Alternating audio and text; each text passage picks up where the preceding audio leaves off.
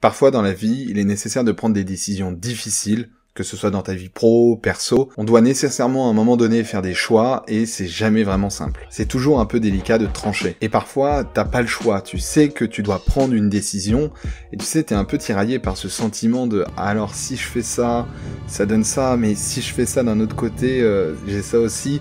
C'est stressant, c'est hyper angoissant. Et parfois, il n'y a même pas de bon choix. Peu importe ce que tu vas prendre comme décision, tu sais qu'il y aura du positif et du négatif. Et peu importe qui tu es, à un moment donné dans notre vie, on est tous confrontés à ce type de choix cornélien. L'idée, c'est pas alors de faire forcément le bon choix, mais c'est de faire le meilleur choix, le choix le plus logique. Et voilà ma méthode.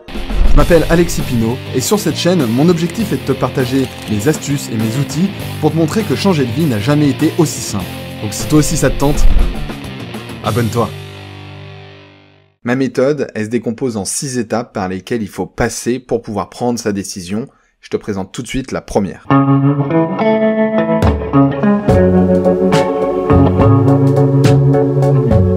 Prendre une décision, c'est un véritable processus et il n'y a rien de pire que de se lancer tête baissée et de laisser ses émotions décider à sa place. Ne te laisse pas submerger par tes émotions, ça te guidera pas forcément sur le mauvais choix, mais ça sera peut-être un choix que tu regretteras. Donc il faut prendre le temps d'absorber la nouvelle. Personne n'a le droit de t'imposer un choix important hyper rapidement. Il faut le faire, c'est sûr, mais tu peux très bien expliquer à cette personne que tu aimerais prendre ton temps pour prendre ta décision. Un entretien d'embauche, par exemple, tu peux très facilement expliquer à ton futur employeur que euh, tu as besoin de prendre ton temps pour réfléchir à ta réponse et tu lui donneras la réponse par exemple en fin de semaine. Si tu te précipites dans ta réponse et que tu laisses parler tes émotions, tu vas pas avoir le temps de faire une réflexion globale, tu vas pas avoir de direction et tu vas pas voir le problème dans sa globalité. Souffle, prends le temps et quand tu as digéré cette information, alors tu peux passer à la deuxième étape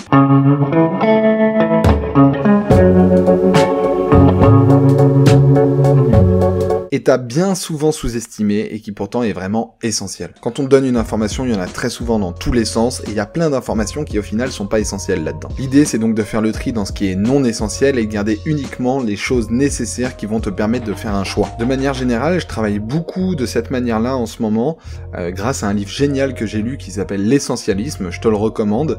C'est en gros un peu le minimalisme mais appliqué au monde du travail. Bref, si ça t'intéresse, je te mets le lien dans les commentaires. Bref, maintenant que tu as eu le temps de digérer l'information et que tu as pu trier cette information en gardant uniquement l'essentiel, tu vas pouvoir passer à la troisième étape.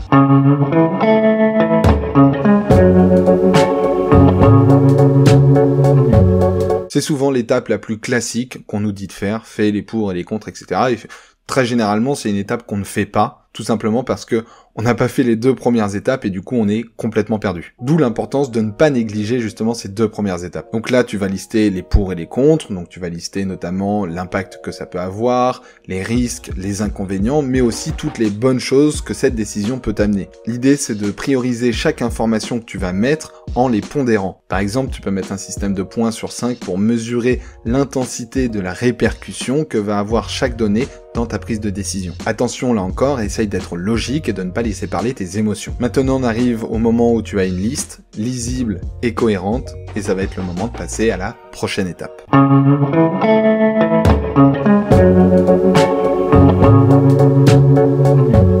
Comme je t'ai dit tout à l'heure, personne n'a le droit de t'imposer, de t'obliger à prendre une décision rapidement. Tu as le droit de prendre le temps pour réfléchir. Et laisser reposer des éléments que tu as listés, ça va permettre parfois de trouver des alternatives auxquelles tu n'aurais pas pensé si tu étais vraiment focus sur ce problème-là. La plupart du temps, ça devient sans t'en rendre compte. Moi, la plupart du temps, perso, j'ai mes meilleures alternatives à des moments où justement, j'y pense pas, comme euh, sous la douche. Donc laisse-toi quelques heures ou quelques jours avant de passer à l'étape suivante.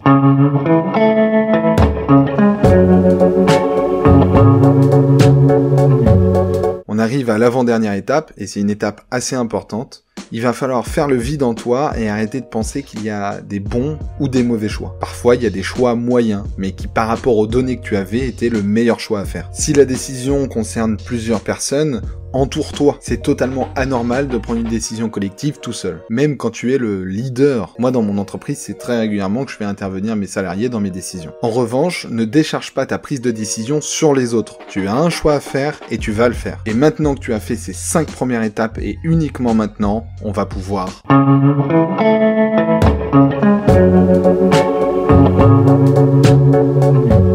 Voilà, nous y sommes, tu vas pouvoir prendre ta décision et il n'y a pas 10 000 façons de faire.